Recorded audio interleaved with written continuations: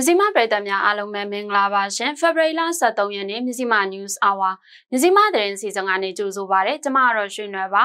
အခုတင်ဆက်ပေးမယ့်သတင်းတွေကတော့ကော်တောင်းတတိကျွန်းပန်ရှင်ဦးကျော်လွင်ရဲ့ညီကိုစစ်ကောင်စီရဲ့စစ်ကြောရေးမှာတိတ်ဆုံးသွားတဲ့သတင်းစစ်ကြောင်းရံကိုကြောက်လို့ချင်းတွင်းမြစ်ကိုဖျက်ကူးထွက်ပြေးသွားကြသူတွေအကြောင်းအမွေကိစ္စစကားများရန်ဖြစ်ရာကနေနေအိမ်မိရှို့မှုဖြစ်ပွားတဲ့သတင်းနဲ့မြောက်ကိုရီးယားကဒုံးပစ်လောင်ချထိန်းချုပ်မှုစနစ်တွေကိုစမ်းသပ်တဲ့သတင်းအပါအဝင်တခြားရေးကြီးသတင်းတွေစိတ်ဝင်စားပွဲသတင်းတွေနဲ့ဒီကနေ့အတွက်ငွေလဲနှုန်းနဲ့ကုန်စည်နှုန်းတွေကိုလည်းတင်ဆက်ပေးသွားမှာပါရှင်။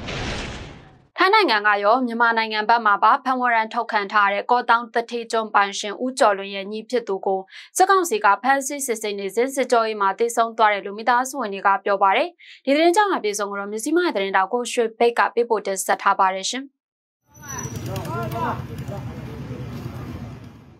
ထိုင်းနိုင်ငံနဲ့မြန်မာနိုင်ငံဘက်မှဖန်ဝဲထုတ်ထားတဲ့ကောတောင်တတေကျိုးပန်ရှင်ဦးကျော်လွန်ရဲ့ညီဖြစ်သူကိုစစ်ကောင်စီကဖမ်းဆီးစစ်ဆေးနေစဉ်စစ်ကြောရေးမှာတည်ဆုံသွားတယ်လို့ မိသားစုဝင်တွေကပြောပါတယ်။ဦးကျွလွန်ရဲ့ညီဖြစ်သူဦးနောက်ပေကိုပြီးခတ်တဲ့ဖေဖော်ဝါရီတောက်ရင်နေ့ကတထေးကျောကိုစက်ကောင်စီလက်အောက်ကသူတွေလာရောက်စစ်ဆေးဖမ်းခေါ်သွားပြီးရက်စက6ကနေတဆေစကြိုရေးကိုခေါ်ဆောင်သွားခဲ့တာဖြစ်တယ်လို့ဆိုပါတယ်။စကြိုရေးကိုခေါ်ဆောင်သွားပြီးဖေဖော်ဝါရီ17ရက်နေ့မနက်ပိုင်းမှာတော့အလောင်းကိုလာကြည့်ဖို့မိသားစုဝင်တွေကိုအတိပေးကြောက်ကြောက်ခဲ့တယ်လို့မိသားစုနဲ့နှိစက်တဲ့ကော်တောင်မြို့ခန့်တအုပ်ကပြောပါတယ်။နောက်ဆုံးအလောင်းပြန်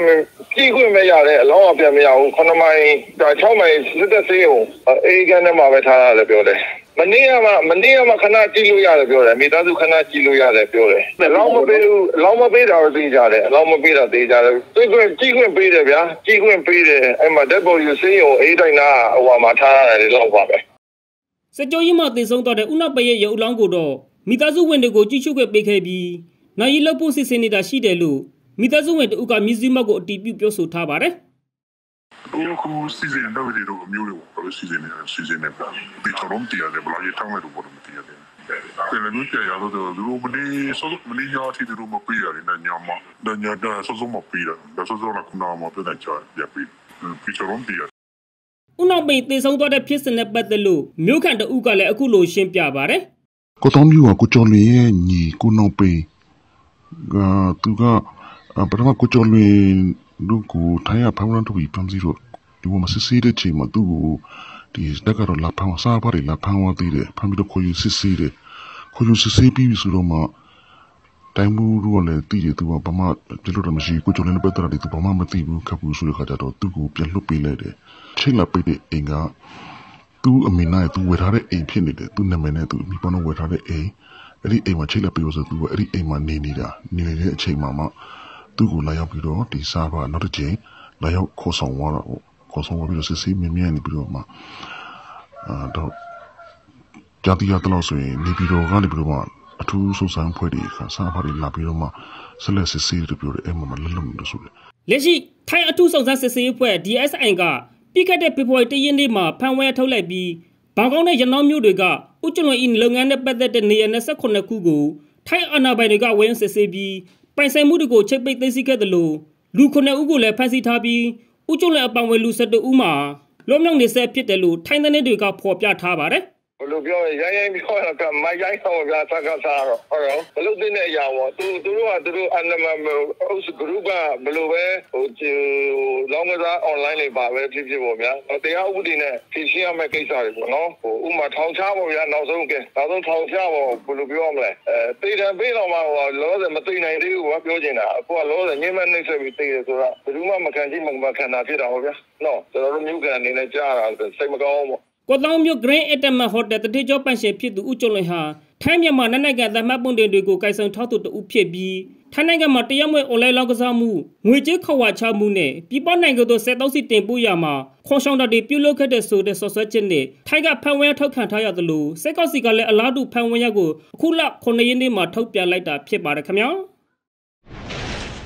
ချင်းတွင်းမြစ်အရှိတ်ဘက်ကဘူးတလင်မြို့နယ်ကကြေးရွာတွေကိုစစ်ကောင်စီကယမန်နေ့မနက်အစောပိုင်းမှာစစ်ကြောင်းထိုးဝင်ရောက်လာလို့ကြေးရွာ6ရွာကဒေသခံတွေကဘေးလွတ်ရာကိုထွက်ပြေးနေကြပါတယ်။စစ်ပေးရှောင်းတွေကချင်းတွင်းမြစ်ကိုဆက်လီတွေနဲ့ဖြတ်ကူးထွက်ပြေးကြပြီးတော့ဆက်လီတစည်းကတော့စစ်ကောင်စီတပ်ရဲ့ပစ်ခတ်မှုကြောင့်တိမ်းမှောက်ခဲ့ရပါတယ်။ရေထဲခုံစင်ဝရုံ359ခတ်ထွက်ပြေးရသူတွေလည်းရှိပါတယ်။ဒါအပြင်စစ်ကောင်စီတပ်ဖွဲ့တွေဟာနေအိမ်တွေကိုမီးရှို့ဖျက်ဆီးသလိုထွက်မပြေးနိုင်မဲ့ပိတ်မိနေတဲ့ဒေသခံတချို့ကိုလည်းဖမ်းဆီးထားတယ်လို့သတင်းရရှိပါတယ်။သတင်းကြောင်းဟန်ပြေဆုံးကိုတော့ဂျူချန်းကတင်ဆက်ပေးထားပါတယ်ရှင်။ခုကတော့ကျွန်တော်တို့စစ်ရှောင်းနေပေါ့နော်ကြီးခဲ့ရတဲ့အချိန်မှာဆက်လီတွေမှောက်တယ်ပေါ့နော်အဲ့လိုဆက်လီတွေမှောက်တဲ့အခါမှာဟိုရှိလာတဲ့ဝက်စားလေးတွေကိုဟိုရေဆိုးသွားတော့ပြန်လှမ်းကြရတဲ့အနေထားပါဗျ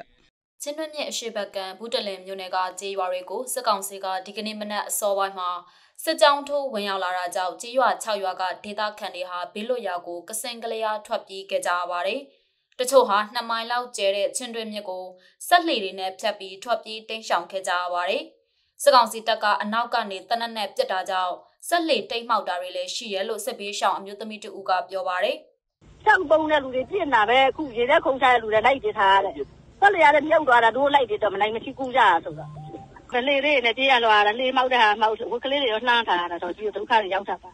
ဒီကနေ့မနက်ဝေလီဝင်းလင်းအချိန်မှာစစ်ကောင်စီစစ်ကြောင်းထိုးလာတာကြောင့် ချင်းတွင်းမြစ်အရှိဘက်ကမ်းကနေချင်းတွင်းမြစ်အနောက်ဘက်ကမ်းကနေမြို့အထိနှစ်မိုင်လောက်ကိုဆက်လင်နဲ့ကူပြီးကွင်းကျန်ထန်တော်အင်တော်နှုံတန်းစတဲ့ကျေးရွာအပါအဝင်ရွာ6ရွာကဒေသခံတွေစစ်ပေးရှောင်နေကြရတာပါဆက်လေတိမ်မှောက်မှုကြောင့်အသက်ဆုံးရှုံးရတာတွေမရှိပေမဲ့ကလေးတချို့ရင်းနှစ်တာတွေကြုံခဲ့ရပြီးတကွဲတပြားဖြစ်ပြီးဒုက္ခရောက်နေရတယ်လို့တခြားအမျိုးသမီးတယောက်ကလည်းပြောပါတယ်။ငါကဝင်လာတယ်ဆိုတော့အမအကုန်ထွက်ရပြေးကြပါပြီးတော့ကမ်းမမှာတရက်ဒီဒီ ရက်ဒီပြစ်လိုက်တဲ့ခါကျတော့လူတွေကနောက်ဘက်ကဟာရအကုန်လန့်ရမ်းပြီးတော့ဟိုပြေးကြတိပြေးကြတကွဲတပြားအကုန်ပြစ်ကုန်ကြလေအဲအမဆက်လေးလေးနဲ့တခါမာတဲ့ဟာလေးလေးလည်းဆန်ကြပြီးကြဆိုတော့နိုင်တော့ဆက်လေးလေးလည်းမြုပ်ကြကလေးလေးတကွဲတပြားနေတဲ့လူကနဲ့မနာမဖြစ်ပါဘူးရေတော့နေတာပါကလေးလေးဒုက္ခရရတာပြောမနေတာနဲ့ကလေးတစ်ခွက်လူကြီးတစ်ခွက်ဟိုရဲကြီးရဲနဲ့အကုန်လုံးဘာပစ္စည်းမှလည်းမပါလူကြီးပြဒီရွာတွေကိုစစ်ကောင်စီကမကြာခဏစစ်ကြောင်းထိုးနေတာကြောင့်ဒေသခံတွေကမကြာခဏစစ်ပြီးတိတ်ရှောင်နေကြရတယ်လို့သိရပါတယ်။ ဆိုကြီးကဘယ်နှစ်ကြိမ်မှတော့မသိတော့ဘူးဆိုကြီးနေတော့တောက်လျှောက်ပြီးဒီနားဆိုရင် ခဏခဏရောက်နေတယ်ရွာလေးဆိုရင်ဆိုကြီးကမြပြေးနေဖုန်းကြောင်းကတစ်နှစ်ချက်ကျွေးလိုက် သွားစားလိုက်အလိုလိုလောက်စစ်ကြောင်းထိုးချိန်မှာ စစ်ကောင်စီက ရွာသားတချို့ကို ဖမ်းဆီးထားပြီးလက်တလုံးမှာ စစ်ကောင်စီက အတီးပြုလိုက်တဲ့ ပြည်သူစစ်မှုထမ်းဥပဒေကြောင့် ဖမ်းဆီးခံရတဲ့ ဒေသခံတွေဟာ ပေါ်တာဆွဲခံရမှာကို စိတ်ပူနေရတယ်လို့ ဒေသကာကွယ်ရေး ရဲဘော်တယောက်က ပြောပါတယ် ဒီသူတွေကိုတော့ အခုလောလောဆယ်ပြောတာကတော့ဒီဖုံးကြောင်းထဲမှာပေါ့နော် တချို့ကမိတဲ့ပြည်သူတွေတော့ ဖမ်းထားတယ်လို့ပြောတယ်အဲဖမ်းထားတယ်ပေါ့နော် သူတို့လောလောဆယ်တော့ ပြန်မထွက်သေးဘူးဒီတော်တော်များများလည်း ဟိုနေ့ကဟိုဟိုပါပေါ့နော်အမိန့်ထုတ်ထားတာနဲ့ ပတ်သက်ပြီးတော့လည်း တော်တော်လေး ကြောက်လန့်နေကြတယ်သူပြစ်ဆောင်တဲ့ ပြည်သူတွေကဟိုဒီမှာထိမ့်သိမ်းခံထားရတဲ့ဖမ်းခံရတဲ့လူတွေအတွက် တော်တော်စိတ်ပူကြတာပေါ့နော် အဲ့ဒီသတင်းတွေလည်း ကြားတော့ ဒီနေ့ နေ့ကင်းပိုင်းမှာ ကွင်းချံရွာကို စစ်ကောင်စီက မီးရှို့နေတာကို ချင်းတွင်းမြက်တစ်ဖက်ကန်းကနေလှမ်းမြက်နေရတယ်လို့လည်းသူကဆက်ပြောပါရယ်မိခိုးတလူလူထွက်ပြီးမီးလောင်နေတဲ့သူတို့နေထိုင်ရာကြီးရွာတွေကိုဒေသခံတွေကစစ်ပေးရှောင်ရင်းချင်းတွင်းမြက်တစ်ဖက်ကန်းကနေလှမ်းမြက်နေရပြီးအာနာရှင်ကိုပုံမမုံတီယွန်ရှာနေကြပြီလို့ပြောကြပါရယ်ရှင်။ ရန်ကုန်တိုင်းမြောက်တကုံမြို့နယ်44ရပ်ကွက်ရွှေစင်လေးလမှာဖေဖော်ဝါရီ17ရက်နေ့ည9နာရီလောက်ကနေအိမ်မီးလောင်မှုဖြစ်ပွားခဲ့ရာအမွေကိစ္စစကားများရန်ဖြစ်ရာကနေမိရှို့လိုက်တာဖြစ်တယ်လို့ရက်ကွက်မှာနေထိုင်သူတွေထံကသိရပါတယ်။ဒီမီးလောင်မှုမှာလူနေအိမ်၃လုံးမီးလောင်ဆုံးရှုံးခဲ့တယ်လို့ဆိုပါတယ်။ညီကိုတွေအမွေကိစ္စစကားများရန်ဖြစ်ရာကနေညီဖြစ်သူကနေအိမ်ကိုဓာတ်စီလောင်မီးရှို့တာလို့ရက်ကွက်မှာနေထိုင်သူတို့ကမျက်စိမှကိုပြောပါတယ်။အကိုကအိမ်ရောက်တာကိုလက်မှတ်မထိုးပြရာကနေစဖြစ်တာ။သူတို့ကမိဘတွေမရှိတော့အရင်ကတည်းကအိမ်ရောက်မယ်ဆိုရင်အငယ်ကအမြဲကန့်ကွက်နေတာရောင်းဖို့လုပ်နေတာကလည်းခဏခဏရှိပါပြီလို့သတင်းမြစ်ကဆိုပါတယ်။နေအိမ်ကိုမီးရှို့သူကစိတ်ကျမ်းမာရေးမကောင်းဘူးလို့မြောက်တကုံမြို့မှာနေထိုင်တဲ့နောက်တူကလည်းပြောပါတယ်စိတ်ကျမ်းမာရေးစေယုံမှာကုသနေရတာလို့ဆိုပါတယ်မီးလောင်တာလူအထိကမရှိပေမဲ့အိမ်သုံးလုံးတော့လောင်သွားတယ်လို့လည်းသိရပါတယ်ဒီမီးလောင်မှုနဲ့ပတ်သက်ပြီးတော့မြန်မာနိုင်ငံမီးတပ်ဌာနကမိနစ်20ကြာညှိတက်ခဲ့ရကြောင်းလည်းထုတ်ပြန်ထားခဲ့ပါတယ်မီးလောင်ဆုံးရှုံးမှုတက်မှုကိုတော့မသိရသေးပါဘူးရှင် နောက်ဆုံးရပြည်တဲ့တွေကိုတင်ဆက်ပေးခဲ့တာပါဆက်လက်ပြီးတော့ကိုနေဦးမောင်ပေးပို့ထားတဲ့ထိတ်တန့်ရောက်နိုင်ငံတကာသတင်းတချို့ကိုတင်ဆက်ပေးပါမယ်။မြောက်ကိုရီးယားကဒုံးပစ်လောင်ချထိန်းချုပ်မှုစနစ်ကိုစမ်းသပ်တဲ့သတင်းကိုတင်ဆက်ပေးမှာပါရှင်။ El líder norcoreano Kim Jong မြောက်ကိုရီးယားဟာသူ့ရဲ့ကာကွယ်ရေးစွမ်းရည်ကိုမြင့်တင်နိုင်မဲ့ဒုံးမြန်အများအပြားတပြိုင်နက်ပြစ်လွတ်နိုင်မဲ့ထိန်းချုပ်မှုစနစ်သစ်တစ်ခုကိုတီထွင်ခဲ့ကြောင်းဖေဖော်ဝါရီလ12ရက်တနင်္လာနေ့ကပြောကြားခဲ့ပါတယ်။ ပြုံရန်ရဲ့ကာကွယ်ရေးသိပ္ပံအကယ်ဒမီကစနေနေ့မှာ240မီလီမီတာပဲ့ထိန်းဒုံးကျည်တွေကိုတပြိုင်နက်တည်းပစ်လွှတ်နိုင်မဲ့ထိန်းချုပ်မှုစနစ်တစ်ခုကိုအောင်မြင်စွာစမ်းသပ်နိုင်ခဲ့ကြောင်းနိုင်ငံပိုင်သတင်းဌာန KCNA ကဖော်ပြခဲ့ပါတယ်။ဒုံးပစ်လောင်ချအသစ်စမ်းသပ်ပစ်လွှတ်မှုအပေါ်ပြန်လည်အကဲဖြတ်ပြီးစစ်မြေပြင်မှာလက်တွေအသုံးချနိုင်ဖို့အဆင့်မြင့်တင်သွားမယ်လို့ KCNA ကပြောပါတယ်။ နျူကလ িয়ার လက်နက်ပိုင်မြောက်ကိုရီးယားဟာဒီနှစ်ထဲမှာတောင်ကိုရီးယားကိုအဓိကရန်သူအဖြစ်ကြေညာခဲ့ပြီးပြန်လည်ပေါင်းစည်းရေးရည်ရွယ်လှုပ်ဆောင်ထားတဲ့အစီအစဉ်အလုံးကိုဖျက်သိမ်းကအချုပ်ချာအာဏာပိုင်တဲ့ကိုတလက်မမအထိခံမှာမဟုတ်ဘူးလို့ချင်းချောက်ထားပါတယ် Un misil balístico intercontinental de combustible sólido. ကက်သလစ်လူစုလူဝေးတဲ့ဘုံခွဲမှုရဲ့အဓိကတရခန့်သိဆုံးသွားပြီဖြစ်တယ်လို့ဖိလစ်ပိုင်ပြောကြားလိုက်တဲ့တဲ့ရင်ကိုတင်ဆက်ပေးပါမယ်ရှင်။ ဖိလစ်ပိုင်တောင်ပိုင်းမှာကက်သလစ်လူစုလူဝေးအတွင်းဘုံခွဲမှုကိုကြိုးကင်ခဲ့တဲ့အဓိကတရားခံဟာ IS အဖွဲ့နဲ့အစိုးရတပ်တွေကြားတိုက်ပွဲအတွင်းတေဆုံးသွားကြောင်းတာဝန်ရှိသူတွေကဖေဖော်ဝါရီလ12ရက်တနင်္လာနေ့ကပြောကြားလိုက်ပါတယ်။ နိုင်ငံရဲ့အကြီးဆုံးမွတ်စလင်မြို့တော်မာရာဝီရှိတက်ဒိုအားကစားရုံအတွင်းဒီဇင်ဘာလ3ရက်ကကက်သလစ်ဘာသာဝင်တွေရဲ့ဝတ်ပြုပွဲမှာလူလေးဦးသေဆုံးခဲ့ပြီးဒါဇင်နဲ့ချီဒဏ်ရာရရှိခဲ့တဲ့ဘုံခွဲတိုက်ခိုက်မှုကို၎င်းတို့လက်ချက်ဖြစ်ကြောင်း IS က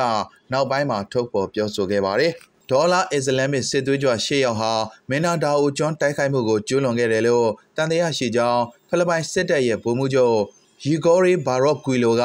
AFP ကိုပြောပါတယ်တိုက်ပွဲအတွင်း9ဦးသေဆုံးပြီး2ဦးကိုဖမ်းဆီးထားကြောင်းနဲ့နောက်ထပ်2ဦးကထွက်ပြေးသွားကြောင်းသူကဆက်ပြောပါတယ်တေဆုံးသူတွေထဲမှာဘုံခွဲမှုမှာနောက်ွယ်ကကြိုးကင်ခဲ့တဲ့အဖွဲ့ရဲ့အင်ဂျင်နီယာဖြစ်သူဂရာဖီမီဘီဇာပါဝင်ကြောင်းဖိလစ်ပိုင်စစ်တပ်ရဲ့ထုတ်ပြန်ချက်မှာဖော်ပြထားပါတယ် အခုနောက်ဆုံးအနေနဲ့ဒီကနေ့မနက်7:00နာရီထိရရှိထားတဲ့ငွေလဲနှုန်းရွှေစီ73စီစီနဲ့စောင်းစီစီတွေကိုတက်ဆက်ပေးမှာပါ။ဒါတွေကိုတော့မြစီမဝိုင်းတော်သူမမေတူကစူးစီးတက်ဆက်ပေးထားတာပါရှင်။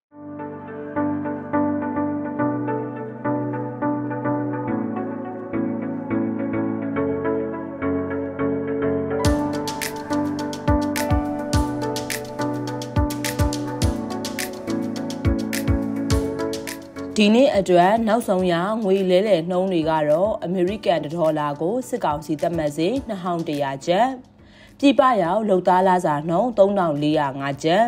ပြင်ပပေါက်စေ3510ကျပ်စင်ကာပူဒေါ်လာကိုစစ်ကောင်စီသတ်မှတ်စေ1560ကျပ်ပြည်ပရောက်လုံသားလာစာနှုန်း2531ကျပ်ပြင်ပပေါက်စေ2590ကျပ်ဥရောပတရူရိုကိုစစ်ကောင်စီသတ်မှတ်စေ 2262တသမ3ကျပ်ပြည်ပရောက်လုံသားလာစာနှုန်း3680ကျပ်ပြင်ပပေါက်စေ3809ကျပ်ထိုင်းတပတ်ကိုစစ်ကောင်စီသတ်မှတ်စေ58တသမ48ကျပ်ပြည်ပရောက်လုံသားလာစာနှုန်း96တသမ88ကျပ်ပြင်ပပေါက်စေ69ကျပ်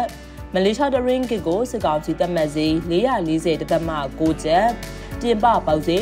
949ကျပ်ပေါက်ဈေးရှိပါတယ်။ ဖော်ပြပါငွေလဲလှယ်နှုန်းတွေကအချိန်နဲ့အမျှပြောင်းလဲမှုရှိနိုင်ပါတယ်။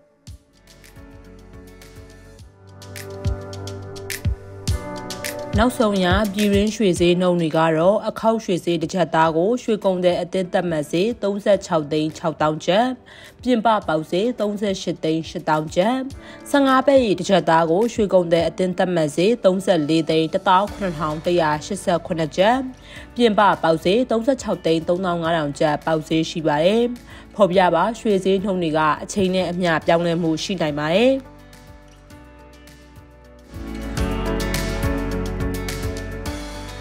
နောက်ဆုံးရရန်ကုန်73စီစီနှုန်းတွေကတော့ဒီဇယ်1လီတာကို2525ကျပ်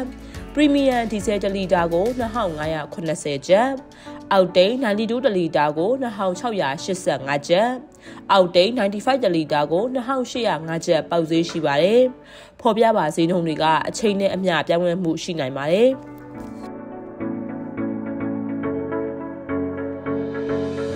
နောက်ဆုံးရစောင်းစီဈေးနှုန်းတွေကတော့စောင်းစီတပိတ်တာကိုစစ်ကောင်စီသတ်မှတ်ဈေး9380ကျပ်ပြင်ပပေါက်ဈေးမှာတော့တပိတ်တာကို12000ကျပ်ပေါက်ဈေးရှိပါတယ်အခုဖော်ပြပါဈေးနှုန်းတွေကတော့အချိန်နဲ့အမျှပြောင်းလဲမှုရှိနိုင်ပါတယ်ရှင်မြစီမ news hour မြစီမသတင်းအစီအစဉ်ကိုတင်ဆက်ပေးရတာပါကြည့်ရှုအားပေးကြတဲ့ပရိသတ်များအားလုံးကိုကျေးဇူးတင်ပါတယ်ရှင်